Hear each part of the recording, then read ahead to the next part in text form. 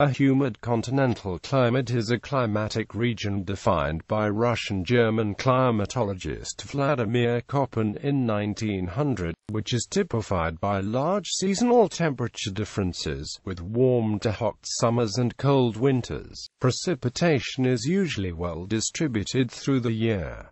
The definition of this climate regarding temperature is as follows. The mean temperature of the coldest month must be below minus 3 degrees Celsius and there must be at least four months whose mean temperatures are at or above 10 degrees Celsius. Dot. In addition, the location in question must not be semi-arid or arid. Humid continental climates tend to be found between latitudes 37 degrees north and 60 degrees north within the central and northeastern portions of North America, Europe, and Asia. They are much less commonly found in the southern hemisphere due to the larger ocean area at that latitude and the consequent greater maritime moderation. In the northern hemisphere some of the humid continental climates, typically in Scandinavia, Nova Scotia, and Newfoundland are heavily maritime influenced, with relatively cool summers and winters being just below the freezing mark.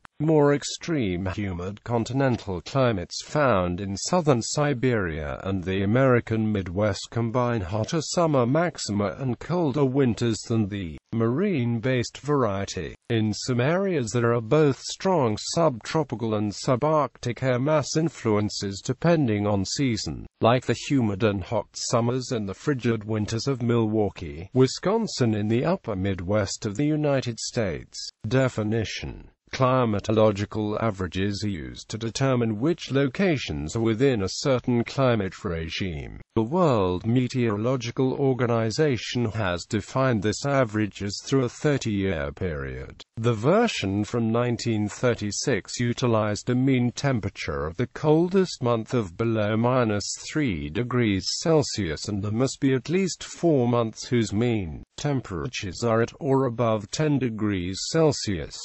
These temperatures were not arbitrary. In Europe, the minus 3 degrees Celsius average temperature isotherm was near the southern extent of winter snowpack.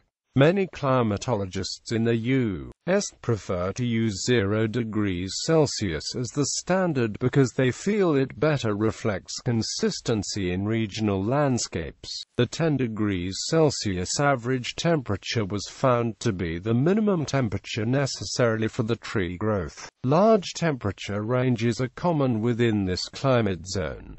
In addition, the location in question must not be semi-arid or arid. This is from an update to the climate regime definition introduced by Trewartha and Amp Horn in 1980. Despite the 1980 update, climate regimes are essentially the same within the Southern Hemisphere. The largest changes are seen in North America, Europe, and Northern Asia. Under Köppen, the following variants of this climate are possible. The climate regime uses a three-letter code, beginning with the letter D. Otherwise, the second letter F does not meet either of the alternative specifications. S. A dry summer. The driest summer month has at most 30 millimeters of rainfall and has at most one-third the precipitation of the wettest winter month. W. A dry winter. The driest winter month has at most one-tenth of the precipitation found in the wettest summer month. The third letter A, warmest month averages above 22 degrees Celsius. B does not meet the requirements for A, but there still are at least four months above 10 degrees Celsius. Dot. Associated precipitation within North America. Moisture within this climate regime is supplied by the Gulf of Mexico and adjacent western subtropical Atlantic. Precipitation is relatively well distributed year-round in many areas with this climate, while others may see a marked reduction in wintry precipitation, which increases the chances of a wintertime drought. Snowfall occurs in all areas with a humid continental climate and in many such places is more common than rain during the height of winter. In places with sufficient wintertime precipitation, the snow cover is often deep. Most summer rainfall occurs during thunderstorms, and in North America and Asia a occasionally tropical system, though humidity levels are often high in locations with humid continental climates. The humid designation means that the climate is not dry enough to be classified as semi-arid or arid. Vegetation By definition, forests thrive within this climate. Biomes within this climate regime include temperate woodlands, temperate grasslands, temperate deciduous temperature evergreen forests, and coniferous forests. Within wetter areas, spruce, pine, fir, and oak can be found. Fall foliage is noted during the autumn. Hot warm summer subtype a hot version of a continental climate features an average temperature of at least 22 degrees Celsius in its warmest month. Since these regimes are limited to the northern hemisphere, the warmest month is usually July or August. In this region, July afternoon temperatures typically average near a slightly above 30 degrees Celsius, while the January mean temperature can be far below minus 3.0 degrees Celsius. Frost-free periods normally last 5 to 6 months within this climate regime. Within North America, it includes small areas of southeast Canada and portions of the eastern United States from the Atlantic to the 100th meridian, and in the general range of between 39 degrees north to 44 degrees north latitude. Precipitation increases further eastward in this zone and is less seasonally uniform form. In the West, the western states of the central United States have thermal regimes which fit the DFA climate type but are quite dry, and are generally grouped with the steppe climates. In the eastern hemisphere, this climate regime is found within interior Eurasia, East Central Asia, and parts of India. Within Europe, the DFA climate type is present near the Black Sea in southern Ukraine, the southern federal district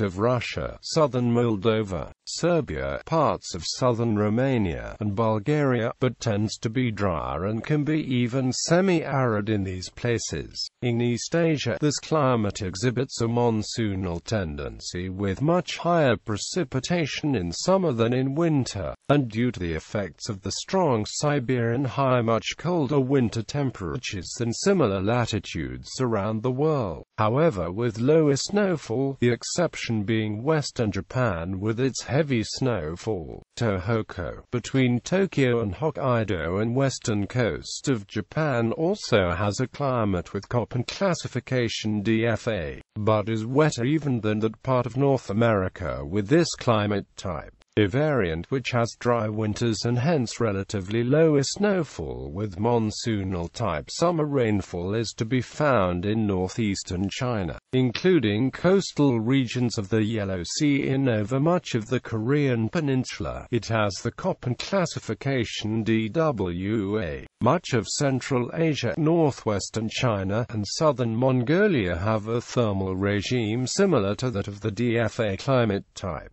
but these regions receive so little precipitation that they are more often classified as steppes or deserts. This climate zone does not exist at all in the southern hemisphere, where the only land mass that enters the upper middle latitudes, South America, tapers too much to have any place that gets the combination of snowy winters and hot summers. Marine influences preclude DFA, DW, and DSA climates in the southern hemisphere. Mild, cool summer subtype. Areas featuring this subtype of the continental climate have an average temperature in the warmest month below 22 degrees Celsius.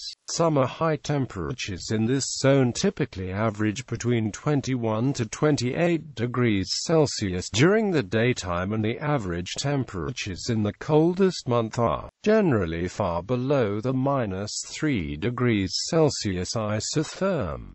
Frost-free periods typically last three to five months. Heat spells lasting over a week are rare. Winters are brisk and cold. The cool summer version of the humid continental climate covers a much larger area than the hot subtype. In North America, the climate zone covers from about 44 degrees north to 50 degrees north latitude mostly east of the 100th meridian. However, it can be found as far north as 54 degrees north, and further west in the Canadian prairie provinces and below 40 degrees north in the high Appalachians. In Europe, the subtype reaches its most northerly latitude at nearly 61 degrees north. In the Western Hemisphere, high-altitude locations as South Lake Tahoe, California, and Aspen, Colorado, in the western United States exhibit local DFB climates. The south-central and southwestern prairie provinces also fits the DFB criteria from a thermal profile, but because of semi-arid precipitation portions of it are grouped into the BSK category. In Europe, it is found in Poland, Russia, the Nordic countries of Sweden and Finland, Norway, Estonia, Latvia, Lithuania, Slovakia, Romania and eastern Hungary. It has little warming or precipitation effects from the northern Atlantic. The cool summer subtype is marked by mild summers, long cold winters and less precipitation than the hot summer subtype. However, short periods of extreme heat are not uncommon.